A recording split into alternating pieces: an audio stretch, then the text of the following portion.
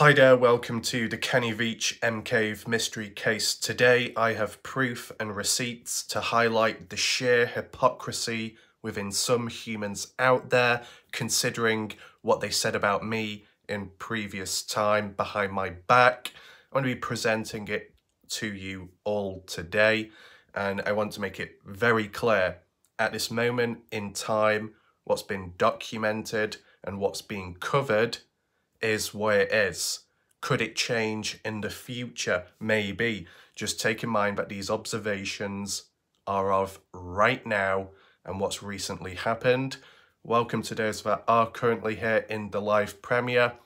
Be sure to share your thoughts and opinions in the live chat box. And for everybody else watching or on catch up afterwards, leave comments down below.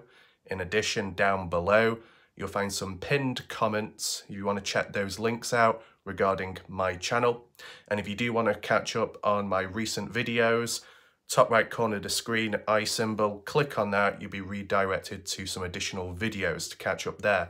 I strongly advise and stress that you stick around for this video from start to finish to truly understand what's being captured, documented, talked about.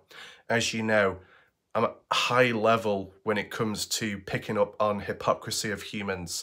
I've analysed people for over 10 plus years now, and once again, it's shown. By the title of this video, you'll know specifically who I'm referring to, and that is of the Kenny Veach investigator online known as Artari. Didn't have a problem with her in the past, but she changed in behaviour with time and then developed a problem with me, and here and there has spoken behind my back and I've had to defend myself here and there in response, right? And the last time Artari called me out was calling me out on Warlike Ref is profiting off the Kenny Veach M Cave case, that Warlike Ref is abusing, overusing and exploiting content and other people's videos to gain from there onwards and not actually really caring about the case or bothered to do research, even though I did do research and material was distributed in other ways compared to what she thinks of, right? So it was along the lines of that. And whilst I defended myself at the time and it was done and dusted, it's Artari's most recent actions which are of, you know, of interest and kind of go against her mentality of what she was saying in the past. So I want to do like a comparison of what she's recently done, her recent actions within the Kenny Veach case and video wise, and what she called me out on months ago, okay? Apologies about my voice, I'm still messed up because I'm ill, right? But it's important to do this video because it's only just happened and it needs to be documented now before it disappears, before it gets deleted or some mysterious shit happens in the background. It needs to be covered right now. It needs to be addressed and the hypocrisy is glowing at this moment in time, okay? So don't go anywhere. Make sure you're ready to listen, look, okay? And we'll get straight into it. The order of how we're going to go about things right now is we're going to look at Artari's latest post, her recent actions, and then we'll compare to what she's previously said when calling me out on a particular issue. Let me show you the receipts right now and you'll understand. As you can see on screen, posted one day ago on Artari's community tab page, the caption reads, members only are now able to see my Kenny Veach research. There's a lot more videos to put up here, but I'm feeling sick at the moment and I'll add more later, okay? It will make more sense shortly as to what I'm getting at. But you see the playlist down below, total of 15 videos present, more may be added in the future. The thumbnail of that playlist appears to be one of the videos she did in the past of the CCTV 2018 break-in footage in Las Vegas of the Veach family-run healing store in which there is that comparison made of was the intruder, the person that broke in, Kenny Veach or not, and Artari believes it's not the case, and she did a videos debunking it, etc., as well as past videos too. Take in mind that what Artari is presenting here, yes, it's research on the Kenny Veach case, but it's from the past of when she was active covering the case. So they're not exactly new videos, they're from the past, but she's decided to put them back out there so the general public can watch them once again. Now, previously, Artari said she took him down, privatized him, because she was getting attacked. She was threatened from some very dark individuals out there, including the possibilities of the Kenny Veach family trying to silence her as well. So I can understand protecting one's family safety, identity, protecting yourself, even if it means taking down certain content or privatizing it. Yeah, I get that. But look how it's been presented here. How, you know, the accessibility of it. That's what the biggest issue is. That's where the hypocrisy lies. Members only are now able to see the videos. If you're not a member, you can't watch the videos.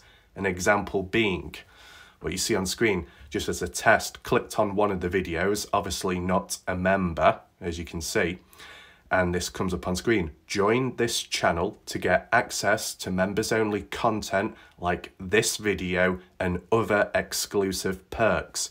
And also down below, highlighted in green with a star, members only. Okay? Now, what does that ultimately mean? How do you become a member?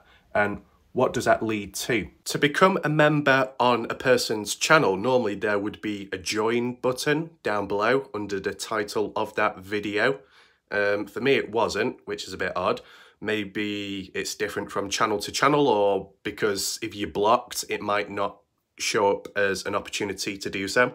But if that's not the case, um, even if you just go onto a person's YouTube channel, there would normally be a button there which would say join or if not that, if there was a live stream or a live chat, there would be like a money symbol somewhere on the screen near to the live chat box. You'd click on it and then you'd be able to gift membership or join a part of the membership, right? The key thing is, at the end of the day, once you've joined, you then have access to certain perks like badges, custom emojis, if they're set up by the creator themselves, Sometimes you might get other additional exclusives like priority to being responded to before everybody else, maybe having exclusive access to Discord or Reddit groups, hangout chats, etc. It can differ from creator to creator and so can the price plans because you can set different tiers, tier one, tier two, tier three. The prices can go up, but what you get out of it also goes up too. So there can be variety at times. And in this case, what Artari has done is if you join as a member, you will then have access to Kenny Veach videos and research, which could be of interest or importance to you when learning about the case. The biggest problem is, and you might have already catched up on it now, when you join as a member, you have to pay.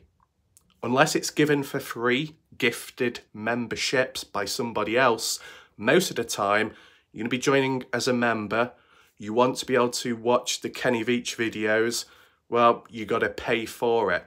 So ultimately, what this boils down to is Artari has locked Kenny Veach videos and research behind a paywall.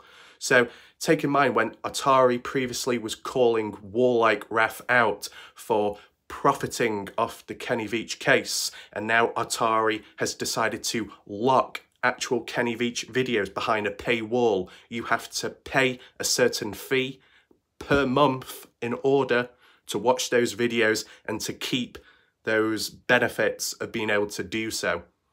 Hmm. Now, with that in mind, let's look back at to what Artari previously said months ago about me. So as you can see on screen, this is actually a screenshot from a previous video I did. Now the screenshot says comment one day ago, but it wasn't. It was one day ago at the time of when I did this video, but the video made was months ago now, so just take that into mind for context reasons. But I believe this was on Artari's page, and if not that, Jay Chucks, a part of a comment thread. It was at the time of when I last defended myself. I will provide a link down below or somewhere on the screen in order for you to check back for the context of the screenshots and my original response to Artari, okay? Don't worry, it's all under control. But I'll just reread what she had to say at the time about Warlike Ref and in general. So Artari responded back to Jeff Clark saying, yeah, I took my videos down for safety reasons. And yes, you're correct about assumptions. Research is absolute and there have been trails that have led to certain people or trials. Uh, lots of Kenny's information was deleted as things were being brought up. There are those who like to talk without doing their own research, which is smart and patient if one can find it. I don't understand why things are being brought up when it was brought up long ago. Is it because certain people want to profit from it?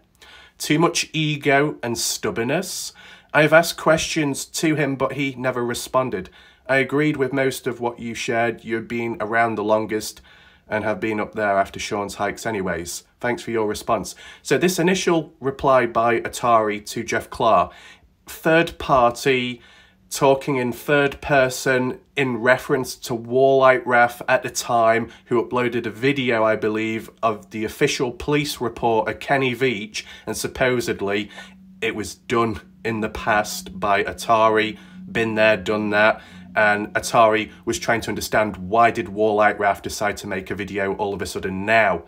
But take in mind, I was doing the video because I had additional new points to add on and Artari's previous coverage at the time was all removed or deleted. So it's okay Artari saying, oh, it's already been done, it's already been covered this. But at the end of the day, if it's not publicly viewable, then it's absolutely pointless.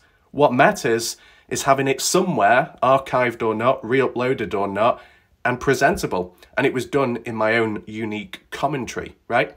But Artari was suggesting that because Warlike Ref decided to upload a video and cover material previously covered by another individual, but from a different point of view, was it done to stubbornness or because one has an ego? Or is it because Warlike Ref is trying to profit from it, right? That's what Artari was throwing out at the time.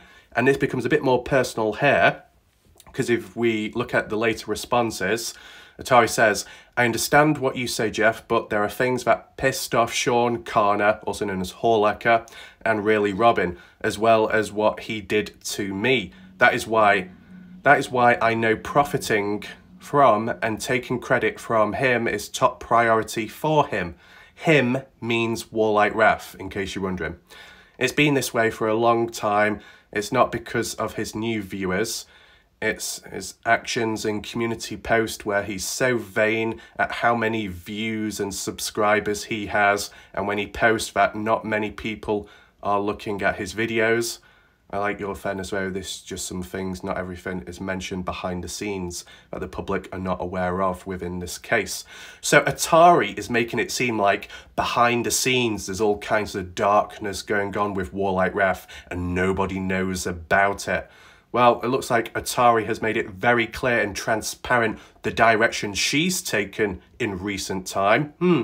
But once again, let's just reread some of the key points mentioned a bit higher up and then compare back to Artari, okay? So Artari says, uh, pissing off Sean Horlecker, really Robin, as well as what Warlike Ref did to me. That is why I know profiting from and taking credit for him, Warlike Ref, is a top priority for him. It's been this way for a long time. Hmm, so Artari is calling Warlike Ref out for profiting and manipulating and exploiting the Kenny Veach case, making money from it.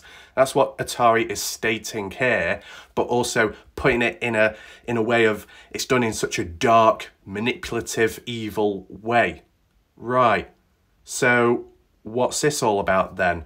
Artari. Oh, let me think. I'm going to re-upload or make my videos public again about Kenny Veach MCave case coverage, but this time round, even though I called Warlike Ref out for supposedly profiting off the case and all kinds of dark secrets revealed there, what I'm going to do now is lock my research behind a paywall. So then people have to pay for it. I get the money and then people can learn about the case. It's interesting because Artari said, I've done my research, I've done the dirty work, people weren't there to listen. Tough shit. You got to learn yourself now. You got to do your own research. Well, if that's the case, but now suddenly you're providing this content once again, you kind of backtracked on yourself. It seems like you might have negotiated in between, such as, you know what? No, I'm going to put the videos back up so people can check them out. But, you know, you can learn, you can listen to my gospel, but there is a payment as like an an apology for not listening in the first place. So you pay to become a member of my channel and you get Kenny Veach coverage. That seems a little bit dark and manipulative, um, if I'll be honest with you. Reality is, and this is 100% a fact, every single Kenny Veach M Cave mystery video that I've done, research, analysis, comparisons, findings, opinions, theories, everything, map analysis, hike routes, hiker analysis, everything you could think of. Over 300 plus videos on the Kenny Veach case, and every single one is publicly available. Anyone from anywhere can watch my videos and coverage on the Kenny Veach case. None of those videos are locked behind a paywall. None. Okay?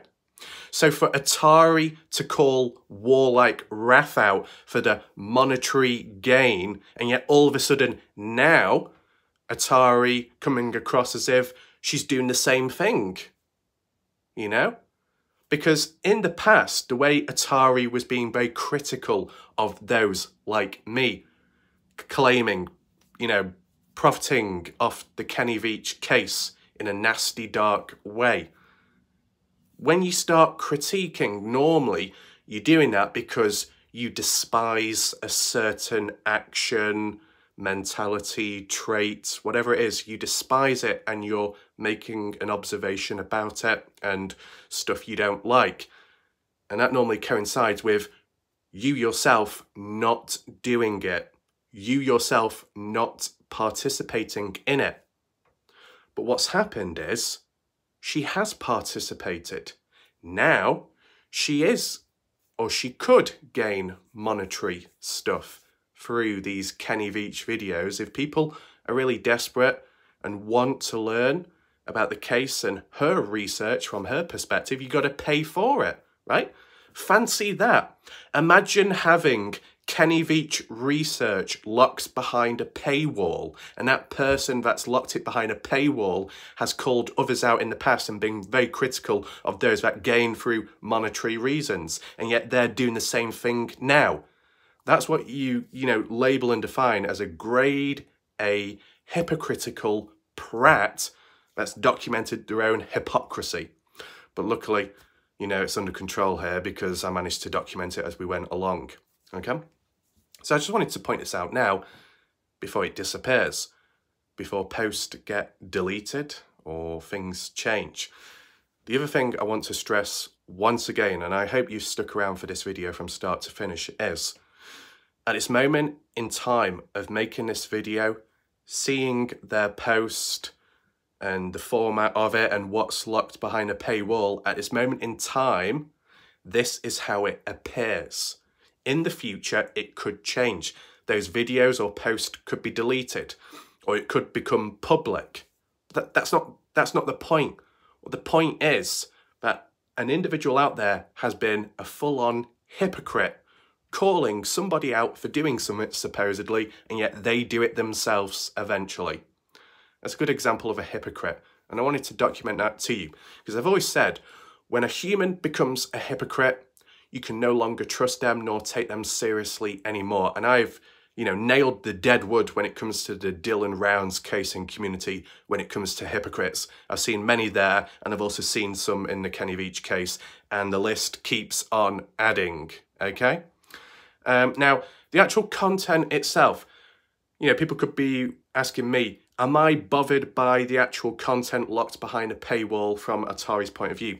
I mean, you know, if you're doing it in a way to either filter out the bad people and just allow loyal ones to watch and view the content. Yeah, it's a way of filtering, just like how you might do live streams and you say it to members only or subscriber only chat. It gets rid of all the spam and the dodgy people out there. I get that. Um, is it a problem here just in general? I mean, if Artari never called me out in the past and Artari now decided to just do paywall content, um, would I have covered this video? Not really, right? Do you know what I'm saying? You know, Artari's doing whatever she's doing for a certain reason. Okay, fair enough. But for her to call out somebody for a certain action and yet they do it themselves later, that's hypocritical. Because it's just like with the Dylan Rounds case and community, where you had Salty Pancakes and Earthworm Infotainment.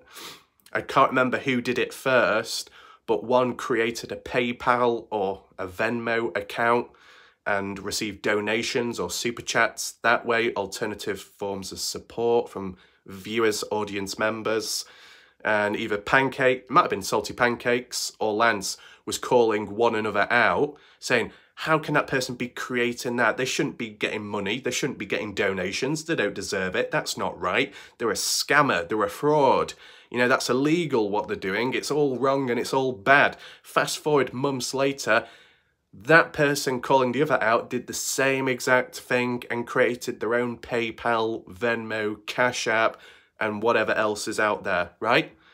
True levels of hypocrisy. It's pathetic, right? But it needs to be documented. That's what's most important, right? So, yeah, it's good that Artari's videos are still there, I guess. It's a shame that it's behind a paywall but it's not the end of the world, I guess, because if supposedly somebody is rehashing or covering material that's already been covered before by a certain individual, well, my response to that supposedly would be, well, at least mine's public, unlike yours. At least the general public can learn, unlike yours, because there's a paywall restriction, right? You start creating paywall content you can start alienating people and audience members. Not everyone will be on the same level. Like this, the reality is, there's several reasons to why I wouldn't put the Kenny Veach coverage, my videos behind, you know, a members only paywall, right? Take in mind, I might do some members only videos or the odd live stream here and there in general, right? Just to fill something in so there is worth and material there to make it fair for everyone. But as for true coverage and important breaking news, I will never put it behind a paywall or I'll try my very best not to. Let's word it like that at least. Would there be any possible reasons as to why you would lock it behind a paywall besides filtering out the cancer from the true loyal people? I don't know. I mean, like, the way this channel started or started to grow was because the content and material was public to begin with, right? There wasn't restrictions or limitations, so why should that change? Why, why fix it if it's not broken, right? Now, yes, maybe in the Kenny Veach case and community, there could be a lot of freeloaders. There might be a lot of people that don't want to um, give support or contributions in certain ways. I mean, with the Dylan Rounds case and community, the Dylan Rounds community, besides the dodgy ones, there's some very supportive people, and still to this day, some of those are still on this channel, which is much appreciated. But, you know, at the end of the day, whether people are supportive or not, depending what community I'm in, right? The content itself should be publicly viewable, right? All about spreading awareness, where you want as many people to learn and to hear about the latest news by restricting it, limiting it as to who can hear, seems to create a bit of a hierarchy It seems to alienate people and it could come across as disrespectful towards the audience, right? I mean, if it's the response you might get where you just disable the comments at least, people can still all watch it, just not comment. You know, there's, there's, negotiation along the way.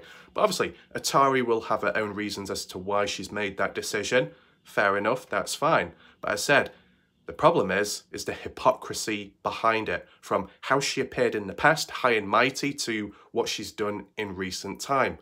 Oh, and the advertising of her multiple YouTube channels as well. Oh, outreach, growth, talking all about it. And yeah, was that Artari calling Warlike Ref out for advertising this, mentioning that about stats and growth. And yet you could have done the same thing about, oh, check these links out, check this out, check that out. Why? Well, it's just hypocrisy glowing, okay? So leave your comments, leave your thoughts down below. Just wanted to do this video as proof and documentation of what's happened recently.